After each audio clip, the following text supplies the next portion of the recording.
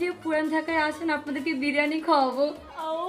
আমরা আসতে পারতাম কিন্তু আমরা অনেক দূরে থাকি তো বাড়ি ইয়াসির কমেন্ট করেছে তোরা পুরান ঢাকায় আয় বিরিয়ানি তোদের হো